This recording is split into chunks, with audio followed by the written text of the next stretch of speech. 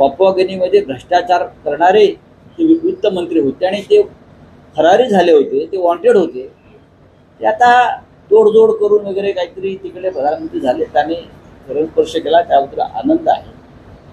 पण तो जो देश आहे त्या देशाची ख्याती अशी आहे मी लोकांच्या माहितीसाठी सांग अंधश्रद्धा जादूटोणा जंतर मंतर यासाठी तो देश जगात प्रसिद्ध आहे.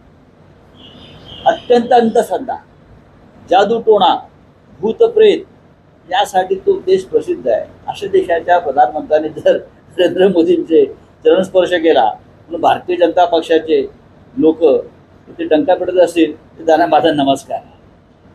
खरं म्हणजे इकडे जे आमचे गुवाहाटीला जाणारे जे लोक होते सगळे त्यांनी त्या देशात जायला पाहिजे. त्यांच्यासाठी अत्यंत योग्य देश आहे. Papua the New Guinea. म्हणजे खरा जादूटोणा खरी अंधश्रद्धा जे त्यांना काही काही रेडे बिडे कापायचे असतील तर तिकडे.